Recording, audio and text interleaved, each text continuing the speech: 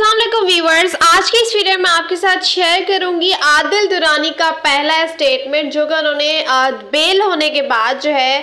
वो अपना दिया है। आदिल दुरानी का कहना है कि मेरे साथ बहुत गलत हुआ है और राखी ने जो भी उल्टे सीधे इल्ज़ाम मुझ पर लगाए और मेरे ऊपर जो ज्यादतियाँ की हैं, वो सारी मैं जो है, वो शेयर करूँगा। बहुत जल्द मैं शेयर करूँगा। और आदिल ने कहा, मैं तो बिल्कुल ठीक हूँ, मुझे कुछ भी नहीं हुआ, लेकिन जिसने मेरे साथ जो किया, जो मुझसे ज्यादतियाँ की गई, जो मुझ पर इल्ज़ाम लगाए गए और मेरे साथ बहुत गलत किया गया। उन लोगों को उनकी सज़ा ज़रूर मिलेगी और मैं ज़रूर उनको जो है वो उनके अंजाम तक पहुँचा के रहूँगा। तो आदिल